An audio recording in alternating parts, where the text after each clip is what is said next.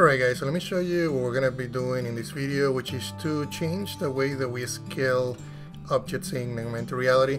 In the previous video I showed you we could do scaling by changing the slider, but the way that I implemented the scaling is that it happens on an object basis. So I had one of my subscribers ask me, tell me, can we scale the entire scene, basically all the components that make up the AR experience?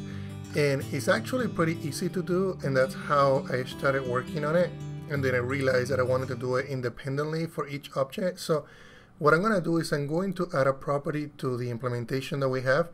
And that implementation is just going to basically allow you to resize and scale the entire the entire scene versus independent objects. So what I'm going to do is I'm going to leave these intact because I want you to be able to use this but I'm going to clone it and then I'm going to also rename this one as well. So this one is going to be more of a per object basis. The other one is going to be entire, basically the entire area.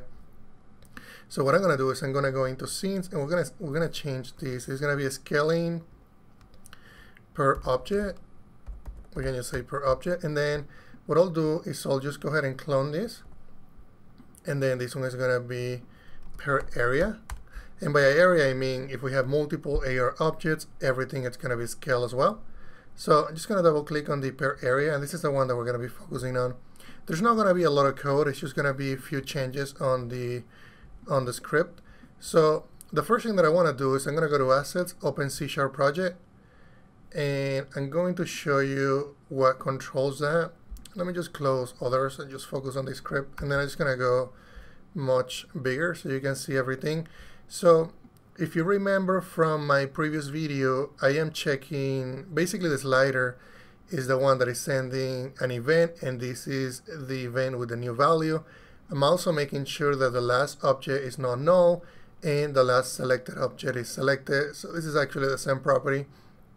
And then if, the, if it is selected, then I grab that object and I scale it. So if we want to do the entire area, normally objects go into what's called the AR session origin.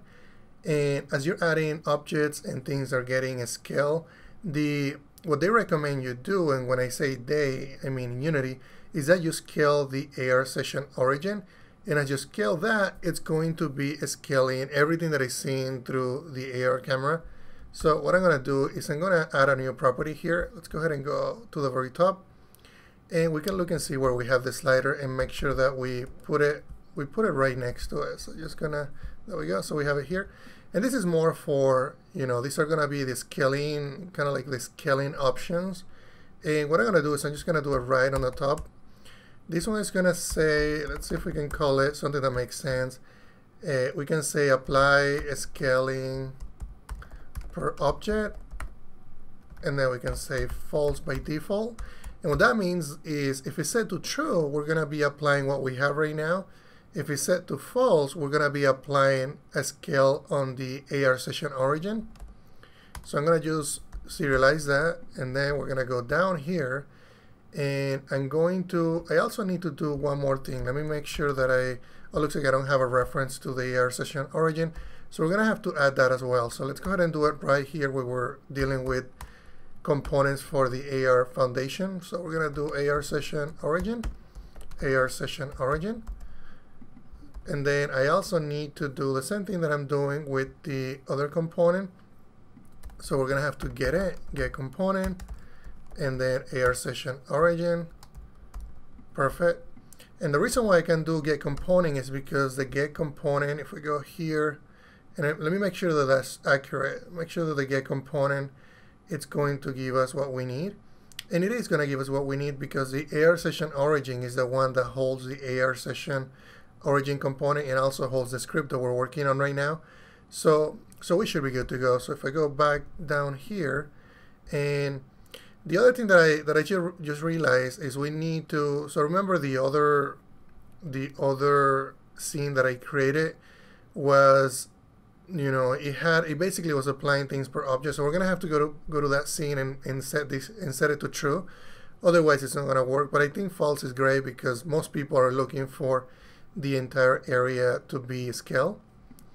Alright, so now that we know that this is to work and also that we're getting that component, the what I'm to do is I'm to change some of this implementation. So what we're to do here is I'm to say, okay, if scale, and let me make sure that I pull the right property.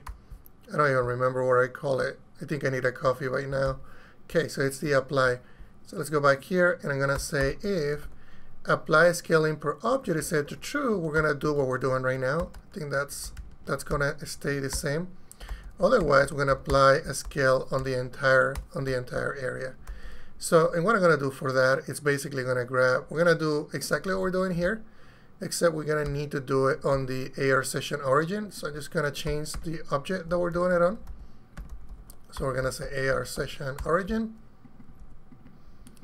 We're to grab, and we don't need to do the pairing, we're going to just do that object. And then we're going to apply a local scale with a vector 1 times the, the new value that we're passing in. So we don't need another curly brace here. Just let's clean up this code. And then that's everything, honestly, that you need to do if you want to accomplish what I just showed you.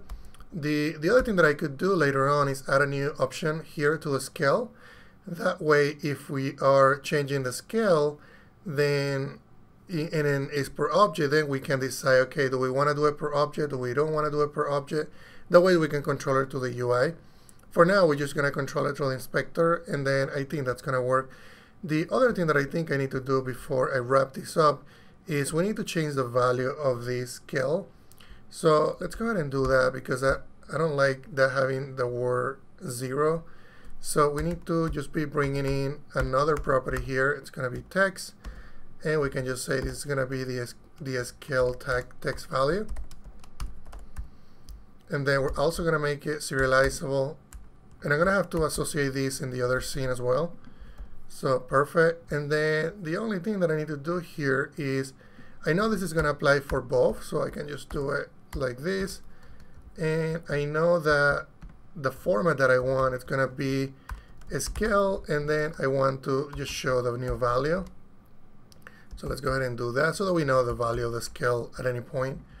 And then that should be everything there. And then lastly, I just need to associate that UI component to our script so that everything just maps and work. So if I go here, I need to grab the scale header, which is what I call it here. And just thinking if I should call it, let me just call it, I think I think that's fine, a scale header is fine.